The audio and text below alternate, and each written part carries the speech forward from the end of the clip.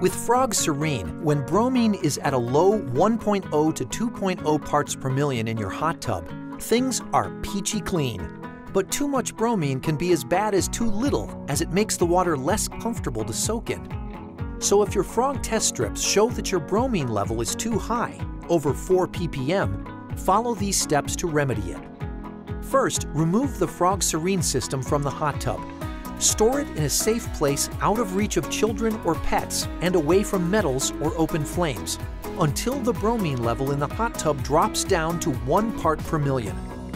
At that time, set the dial on the bromine cartridge down one number and place the system back in the hot tub. Wait 24 hours and test the water again. If the bromine level has risen, dial the setting down one more number and wait another 24 hours. Continue this process as needed, adjusting the cartridge setting down gradually until the bromine level stays at 1 to 2 ppm. Remember that bromine is used up by people and debris that enter the hot tub.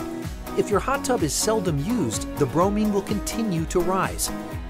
But with the right levels and less overall work with Frog Serene, you might just want to use your hot tub more. Have questions? Give us a call. We're happy to help.